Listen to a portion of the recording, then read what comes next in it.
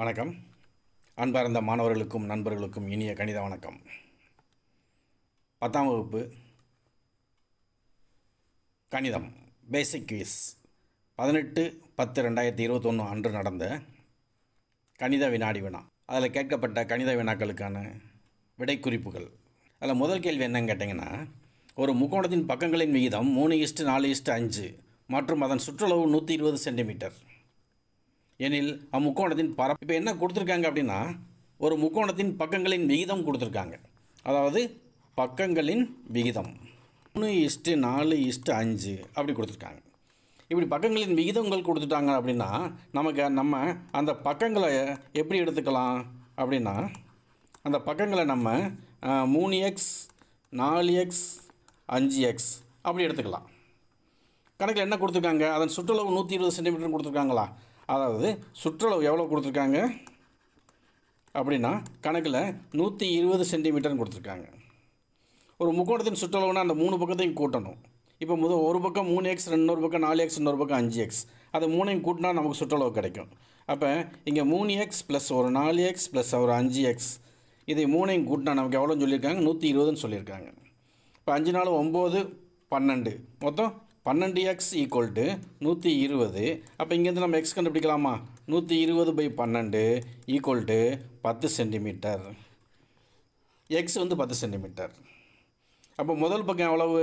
மூணு எக்ஸ் அப்போ மூணு இன்ட்டு பத்து முப்பது. ரெண்டாவது பக்கம் நாலு இன்ட்டு பத்து நாற்பது மூணாவது பக்கம் அஞ்சு இன்ட்டு பத்து ஐம்பது. அப்படி வச்சுக்கிட்டு நம்ம அந்த முக்கோணத்தோட பரப்பளவை கண்டுபிடிக்க போகிறோம் அந்த மூன்று பக்கங்கள் என்னென்னு பார்த்தீங்கன்னா முப்பது நாற்பது ஐம்பது சென்டிமீட்டர் இப்படி இருக்குது அப்போ இந்த முக்கோணத்தோட பரப்பளவு கண்டுபிடிக்கிறதுக்கு நமக்கு ஃபார்முலா தெரியும். முக்கோணத்தின் பரப்பளவு equal to S into S minus A into S minus B into S minus C அப்படிங்கிறது நமக்கு நல்லா தெரியும். இதில் இதுதான் ஏ இது பி இது சி அப்போ எஸ்ஸுங்கிறது என்ன அப்படின்னா அது தனியாக நம்ம கண்டுபிடிக்கணும். அப்போ எஸ் ஈக்குவல் என்ன அப்படின்னா A plus B plus C A என்ன? முப்பது நாற்பது ஐம்பது. இது வந்து பரப்பு.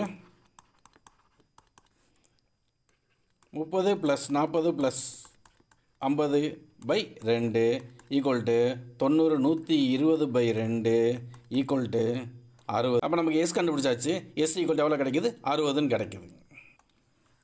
இப்போ நம்ம இந்த ஃபார்முலாவில் அதை அப்புறம் அப்ளை பண்ண போகிறோம் இங்கே எஸ் எவ்வளோன்னு அறுபது.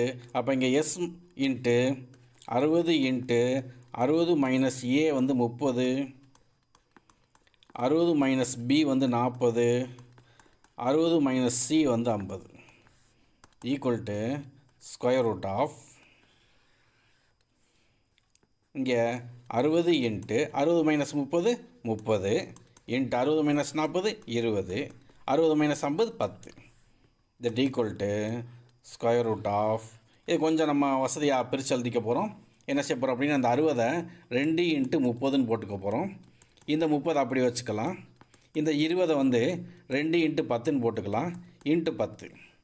இப்போ இந்த ரூட்டுக்குள்ளே ரெண்டு ரெண்டு ஒரே மாதிரி ரெண்டு நம்பர் ஒரே மாதிரி தான் ஒரு நம்பர் தூக்கிடலாம் வெளியில்.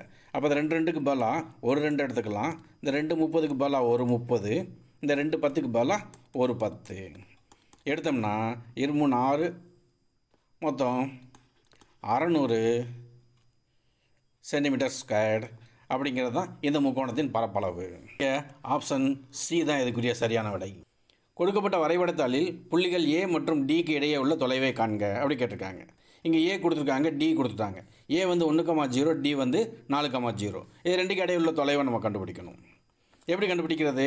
நமக்கு தெரியும் டிஸ்டன்ஸ் ஃபார்முலா இங்கே என்ன கொடுத்துருக்காங்க? ஏ ஒன்று கமா ஜீரோ டி வந்து என்னென்னு பார்த்தீங்கன்னா நாலு கமா ஜீரோ. இதுலேருந்து இது எக்ஸ் ஒன் இது ஒய் ஒன் இது வந்து எக்ஸ் டூ இது ஒய் டூன்னு வச்சுக்குவோம். Equal to square root of X two எவ்வளவு? நாலு. மைனஸ் எக்ஸ் ஒன் வந்து ஒன்று whole squared plus Y two எவ்வளோன்னு பார்த்தீங்கன்னா ஒய் டூ வந்து ஜீரோ மைனஸ் ஒய் ஒன்றும் ஜீரோ தான். இந்த equal to square root of நாலு மைனஸ் ஒன்று மூணு square equal to root of ஒம்பது ஈக்குவல் டு மூணு சென்டிமீட்டர் மூணு அளவுகள் அப்போ ஆப்ஷன் சி தான் இதுக்குரிய சரியான விடை இந்த கணக்கு நம்ம எவ்வளோ வருஷம் போடுறத விட இங்கே கிராஃப் ஷீட்டில் தெளிவாக கொடுத்துருக்காங்க. ஏன்ற புள்ளி டிங்கிற புள்ளியும். அது ரெண்டு கடையில் எத்தனை அளவுகள் இருக்குன்னு பார்த்தீங்கன்னா ஒன்று ரெண்டு மூணு. மூணு பாயிண்ட் தான் இருக்குது நேரடியாக நம்ம மூணுன்னு சொல்லியிருக்கலாம்.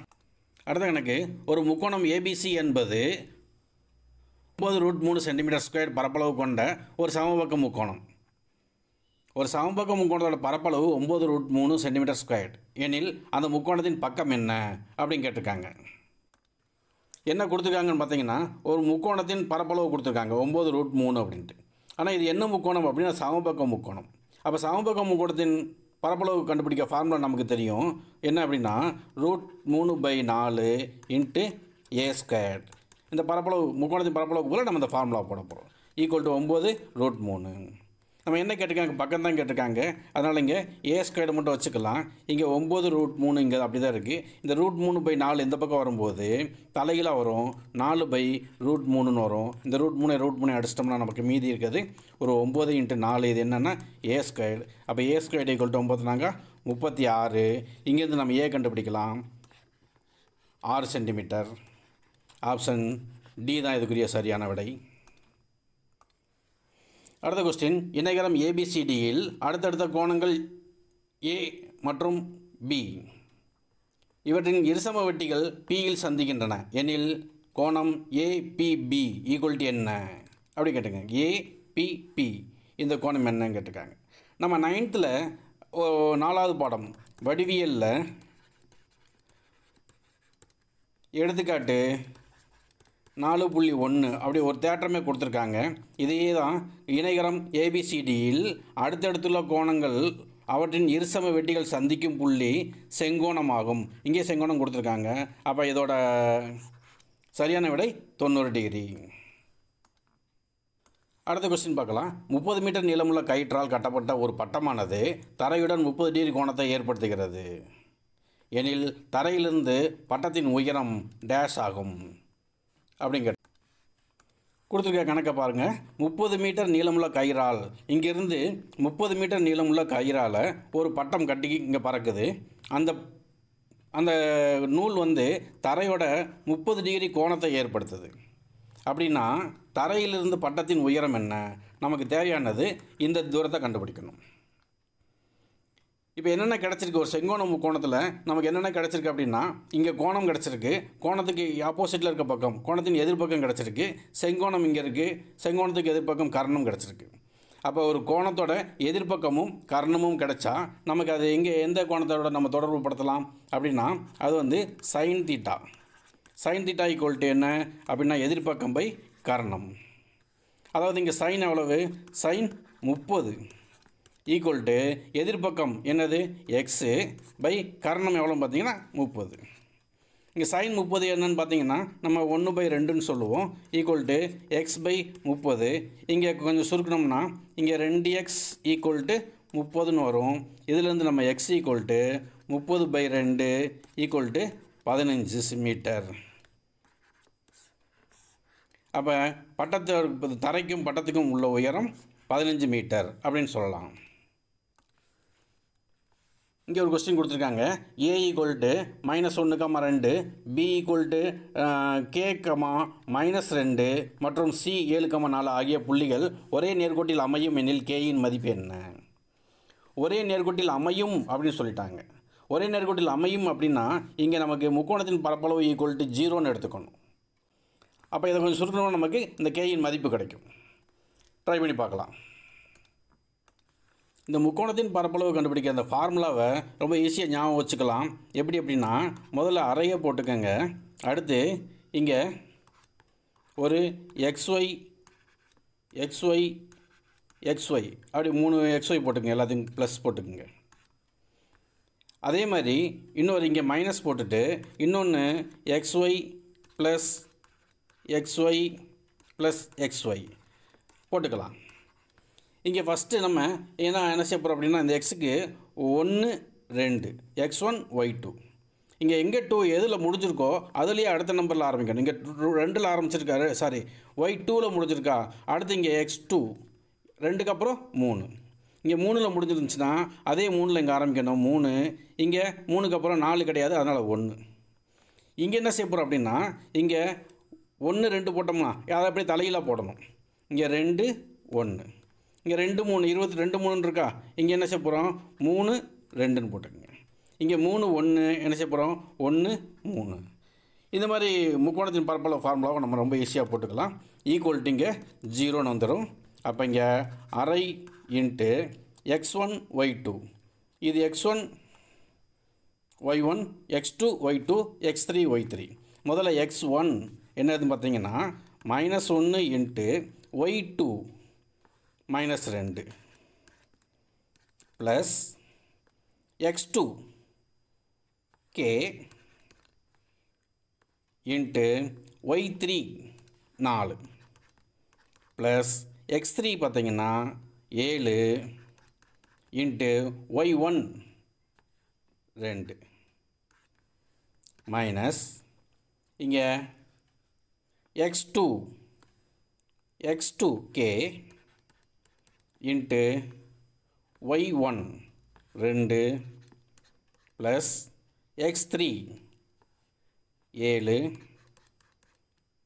இன்ட்டு ஒய் டூ மைனஸ் ரெண்டு ப்ளஸ் எக்ஸ் ஒன் மைனஸ் ஒன்று இன்ட்டு ஒய் த்ரீ நாலு. கொடுக்கலாம். இது ஈக்குவல் டு ஜீரோ இங்கே அரை இன்ட்டு இங்கே மைனஸ் ஒன்று மைனஸ் ரெண்டு. ரெண்டையும் பேருக்குன்னா ப்ளஸ் ரெண்டு. ப்ளஸ் இது ஒரு நாலு கே ப்ளஸ் இது ஒரு பதினாலு. இது மைனஸ் மைனஸ் ரெண்டு கே இது என்னாகும்? ஏழையும் மைனஸ் ரெண்டையும் பேருக்குன்னா மைனஸ் பதினாலு. இந்த மைனஸ் உள்ளே வரும்போது ப்ளஸ் பதினாலு ஆகிடும் அதுக்கப்புறம் இங்கே ஒன்றையும் நாலையும் பெருக்குன்னா மைனஸ் நாலு. இங்கே மைனஸ் இருக்கிறதுனால மைனஸ் இன்ட்டு மைனஸ் ப்ளஸ் நாலுன்னு வந்துடும் ஈக்குவல் டு ஜீரோ கொஞ்சம் சுருக்கலாம். ஒன் பை டூ இன்ட்டு இங்கே ஒரு நாலுக்கு நாலுக்கே இங்கே ஒரு மைனஸ் ரெண்டு கே நாலு கேல ரெண்டு கே போச்சுன்னா ரெண்டு கே நம்பர்லாம் கூட்டுங்க. இங்கே ப ரெண்டு இங்கே ஒரு பதினாலு பதினாறாச்சு பதினாறு இருபது இது ஒரு பதினாலு மொத்தம் முப்பத்தி நாலு ப்ளஸ் முப்பத்தி நாலு ஈக்குவல் டு ஜீரோ இந்த ஒன் பை டூவில் டூ அந்த பக்கம் கொண்டு போனோம்னா பெருக்கலாக மாறிடும். அப்போ ஏற்கனவே ஜீரோ இருக்குது அப்போ ரெண்டையும் ஜீரோவும் பெருக்குன்னா ஜீரோ தான் வந்துடும் அப்போ இங்கேருந்து ரெண்டு கே ப்ளஸ் முப்பத்தி நாலு ஈக்குவல் டு ஜீரோன்னு கிடைக்கும். இன்னும் இங்கேருந்து ரெண்டு ஈக்குவல் டு இந்த முப்பத்தி நாலு அங்கிட்டு கொண்டு போனோம்னா மைனஸ் முப்பத்தி நாலுன்னு வரும். இங்கேருந்து கே ஈக்குவல் டு மைனஸ் முப்பத்தி நாலு பை ரெண்டு ஈக்குவல் டு மைனஸ் பதினேழு. அப்போ கேயின் மதிப்பு மைனஸ் பதினேழு. அடுத்த கொஸ்டின் ஒரு இருசமபக்க செங்கோண முக்கோணம் ஏபிசியில் கோணம் பி தொண்ணூறு டிகிரி எண்ணில் கீழ்கண்டவற்றுள் எது சரி? அப்படின்னு கேட்டிருக்காங்க.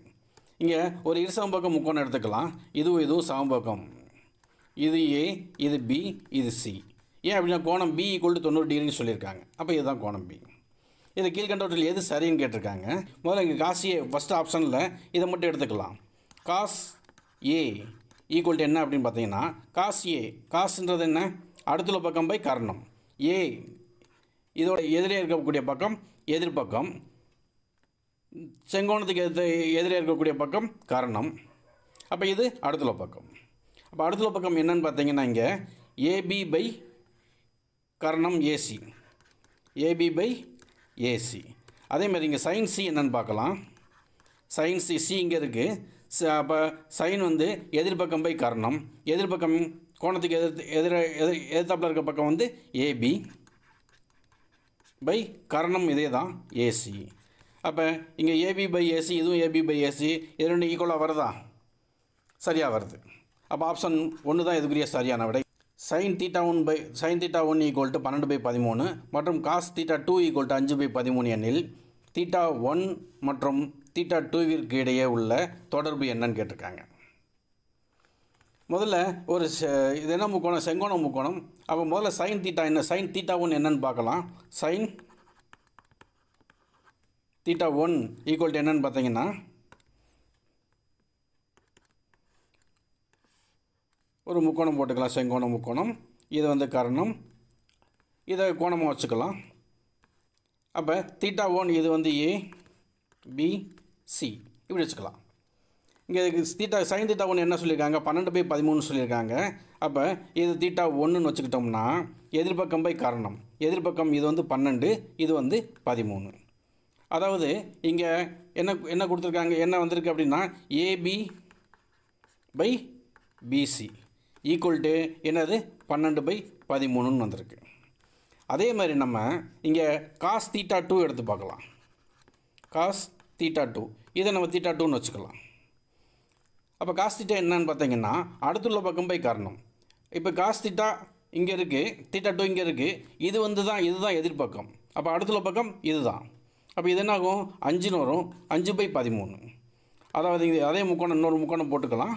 இது வந்து தீட்டா டூ அடுத்துள்ள பக்கம் என்ன? அஞ்சு. கர்ணம் பதிமூணு. அதாவது இங்கே இது ஏபிசின்னு வச்சுக்கிட்டோம்னா அடுத்துள்ள பக்கம் என்னன்னு பார்த்தீங்கன்னா ஏபி பை கர்ணம். இது வந்து ஏசி கர்ணம் வந்து ஏசி இந்த ஈக்குவல் டு அஞ்சு பை பதிமூணு. அதாவது ஏ இதுவும் A by AB by AC தான். இதுவும் ஏபி பை ஏசி தான். ஆனால் ரெண்டுக்கும் வேறு வேறு மதிப்புகள் கிடைக்கிது. அப்போ இது ரெண்டும் ஈக்குவல் அப்போ இங்கே தீட்டா ஒன்றும் தீட்டா டூவும் ஈக்குவலாக இருந்தால் மட்டும்தான் இது சாத்தியம். அப்போ ஆப்ஷன் டி தான் இதுக்குரிய சரியான விடை. அடுத்த question A x one y one மற்றும் B x two y two என்ற இரு புள்ளிகளை பி என்ற புள்ளியானது எம்இஸ்டிஎன் என் என்ற விகிதத்தில் பிரிக்கிறது. எனில் பி நடுப்புள்ளியாக அமைவதற்கான நிபந்தனை என்ன? அப்படின்னு கேட்டிருக்காங்க. இப்போ ஏபின்னு ரெண்டு புள்ளி எடுத்துக்கலாம். A x one y one B x two y டூன்னு எடுத்துக்கலாம். அது ரெண்டுக்கும் என்ன செய்யுது அப்படின்னா இந்த கோடை எம் இஸ்டு என் அப்படிங்கிற விதத்தில் பிரிக்குது. அந்த பிங்கிற புள்ளி நடுப்புள்ளியாக இருக்கணும் அப்படின்னா எப்படி இருக்கணும் அப்படின்னா இந்த ஏலேருந்து பிக்குள்ள தூரமும் பியிலேருந்து பிக்குள்ள தூரமும் சமமாக இருக்கணும். அதாவது எம்மும் எண்ணும் சமமாக இருந்தால் மட்டும்தான் இது சாத்தியமாகும். அப்போ இங்கே எம் ஈக்குவல் டு என் அப்படி இருந்தால் மட்டும்தான் இது சாத்தியமாகும். ஆப்ஷன் ஏ தான் இதுக்குரிய சரியான விடை. அடுத்த கொஸ்டின் பார்த்தீங்கன்னா கொடுக்கப்பட்ட படத்தில் பிஎஸ் என்பது நடுக்கோடு மற்றும் பிக்யூ ஈக்குவல் டு பிஆர் பிக்யூவும் பிஆரும் சமம். எனில் பி சாரி கியூபிஎஸ் அப்படிங்கிற அந்த கோணம் என்ன? அப்படின்னு கேட்டிருக்காங்க. இது பார்த்தோன்னே தெரியுது இது ஒரு இருசம பக்க முக்கோணம். ஒரு இருசம பக்க முக்கோணத்தில்